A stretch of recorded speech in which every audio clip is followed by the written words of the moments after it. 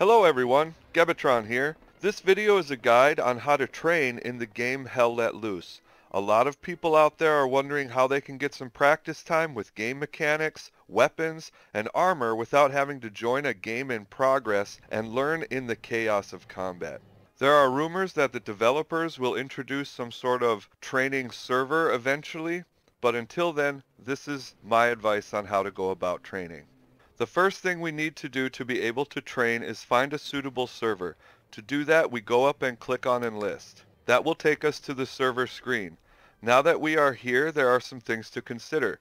Remember, we are looking to train, not to join an active server. These buttons across the top are filters. Since we will be training alone or with a friend, let's get rid of the full servers by clicking off Show Full. We aren't going to want to train in a community server as they are usually actively trying to seed or hold active matches. Let's get rid of them by clicking off Show Community. That leaves us with the official servers that aren't full. Now that we have filtered the servers, let's sort them to according to what we are looking for. If we want to train on a specific map, we can click Map to sort them by maps. Same with server. We can sort by number of players. Keep in mind we want to train, not start a match. We can sort by game mode. I recommend training in a warfare mode server versus an offensive mode server as warfare gives you an hour and a half to do what you wish while offensive will require you to capture points every 30 minutes in order to extend the game. Unless of course you want to learn more about offensive mode mechanics. Finally we can sort by ping which is what I usually do as I want good performance while training. I personally like training in maps like St. Mère-Église or St. Marie-du-Mont as they have larger open areas, have clear weather, are easier to navigate for vehicles, and you don't start out in the ocean like a beach map. Now that we have found a suitable server, let's click Join Server.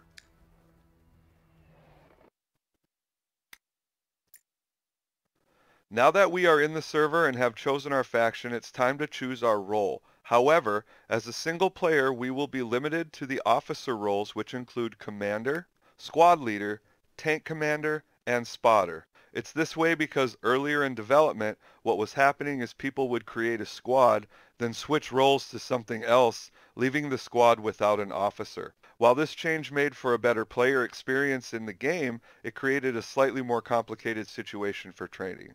Nevertheless, this is the current situation. But there's still plenty for us to do as the officers. Let's start with the commander role.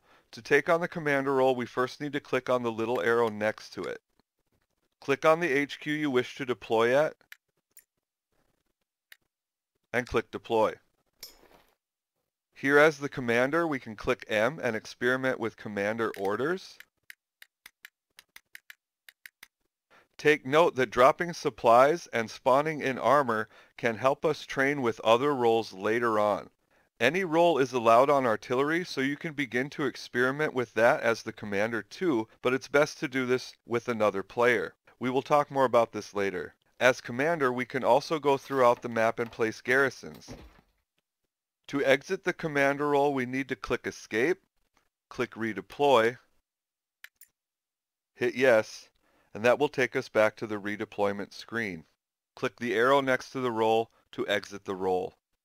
Moving on to Squad Leader. To become a squad leader, we need to click the Create Unit here at the top right. Infantry is currently selected, and at the bottom we have two options, Create Infantry Unit or Create Locked Infantry Unit. Let's create Locked Infantry Unit just for training. You can also lock or unlock your squad here at the deployment screen. If we go to the top right where it says change role and we click that, over here on the right hand side of the screen we can do things like change our loadout or change our appearance. Choose the place you wish to spawn and click deploy.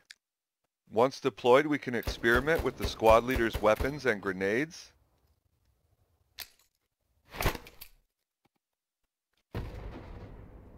We can also build garrisons where we drop supplies earlier while playing as the commander.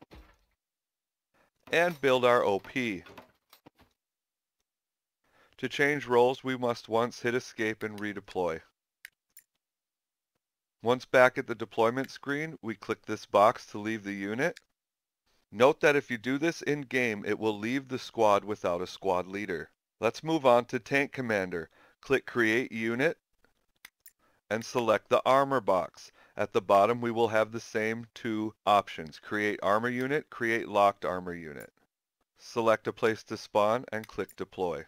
Once deployed as the tank commander, we can experiment with any armor that is spawned on the map. Note that some armor is only available through commander orders, such as the recon vehicles. Here we can enter the armor, drive the armor, experiment with the armor's weapons,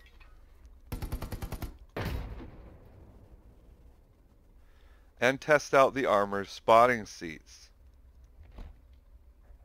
To exit this role, follow the same steps as before. Let's move on to the spotter role. Once in as the spotter, we can experiment with our weapons, including the anti-personnel mine, build garrisons, and place ROP. Don't forget you can also use this time to become familiar with the map. To exit this role, follow the same steps as before. Sometimes other players may join your server thinking you are trying to seed it for an active match. I find that simply letting them know you are training and asking them politely through VoIP or text chat to vacate the server will work 90% of the time. It's rare, but sometimes you will encounter a troll. It can be frustrating, but it's best to find a different server and avoid them. To experiment with any of the other roles such as AT or Engineer, you will have to have a friend or someone else create a unit for you. If you don't have a friend that plays Hell Let Loose, then I suggest you go to the official Hell Let Loose Discord. There you can ask someone to join you so you can access the other roles. This is actually what I did when I first started this channel. I just asked and multiple people were kind enough to offer their assistance. Shout out to Tentacles for doing this for me in the past. Once you're in with your friend, you will be able to click the arrow to join their unit. Once you join the squad, you will be able to select any role in that squad, allowing you to experiment with their weapons, loadouts, on-map assets, such as, as the engineer, you'll be able to place mines, build nodes, build defensive structures, while the AT role you'll be able to fire their AT weapon and build the anti-tank gun. One of the most popular reasons people want to train is to learn how to use artillery, so let's talk about that real quick. While you can operate and fire artillery all by yourself, it's hard to know if you are actually being accurate. Now you can spawn in as a member of one faction, place garrisons, then switch teams and fire at those garrisons to see how accurate you are. However, it's much easier to simply work with a spotter. I don't necessarily mean the spotter role, but just a teammate watching your shots to make sure you are hitting them accurately. Then they can just report back to you and you can adjust your fire accordingly.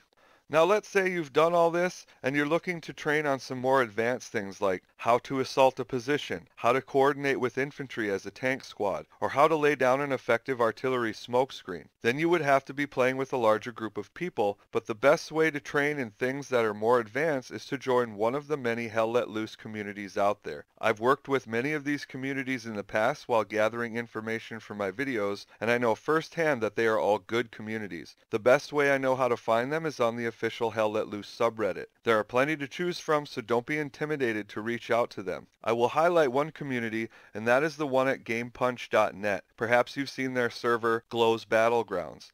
This community has recently reached out to me and have been awesome. They have a young but growing Hell Let Loose group there, so maybe give them a look if you're in the market for a community. Check the video description below for links to other guys I have made on all of the things we have talked about earlier in this video. If you have any questions, please feel free to leave them in the comments below. Subscribe for more Hell Let Loose content just like this. Like and share as it really helps out the channel. If you'd like to support this channel directly, you can via the PayPal link in the description below, as I am not a monetized channel. Thank you guys so much for watching and for your continuing support.